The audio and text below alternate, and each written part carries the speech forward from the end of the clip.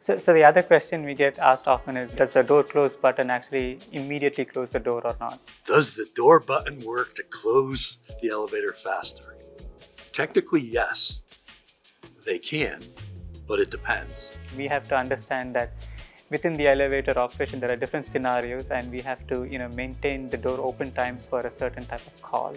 Buildings have to comply with the American with Disability Act. And so if there are, you know, passengers with special need, they require the door to be open for longer, you know, all of that logic is built inside the elevator controller.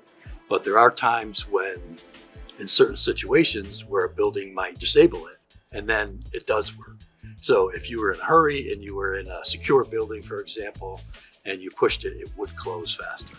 And so the door close button, um, you know, will close the door if none of those conditions or scenarios are being handled by the elevator controller.